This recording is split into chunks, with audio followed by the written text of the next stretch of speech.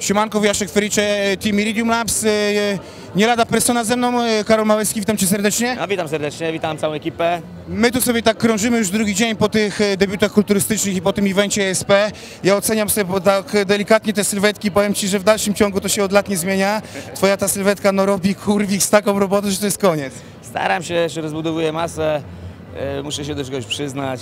E, Rok temu na koniec masy ważyłem 98, a teraz na początku masy ważę 97, więc jestem dobrej myśli.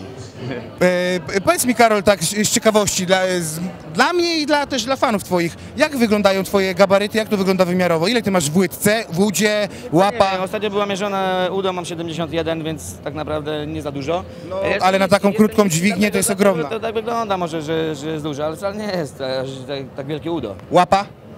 Nie wiem.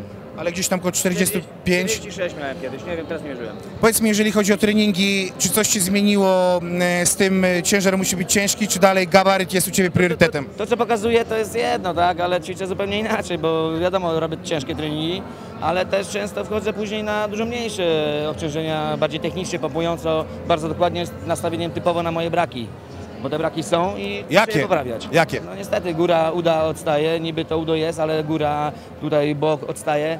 Na pewno gdzieś tam muszę plecy poprawić, klatę. No góra cała praktycznie do poprawy jest. Mm, Wydawać mi się mogło, że jest kompletna sylwetka, ale tak naprawdę na świata y, idę i widzę, ten, te braki są widoczne gołym okiem. A powiedz mi, Karol, jakie są Twoje najbliższe plany? Tu 2017 coś się będzie działo, czy już 2018? Tak, tak, oczywiście nie, mo, nie dają mi żyć y, Mistrzostwa Świata ciągle, więc y, tak, tak, do końca maja robię masę, troszeczkę dłuższą redukcję, od czerwca zaczynam i 15 października Puchar Polski w Białymstoku i oczywiście docelowo Mistrzostwa Świata. To co? Czego mogę życzyć? Chyba przede wszystkim tego wymarzonego mistrza świata. Oby się spełniło. Zdrówka najlepszego, bardzo dziękuję. Bardzo. Dzięki.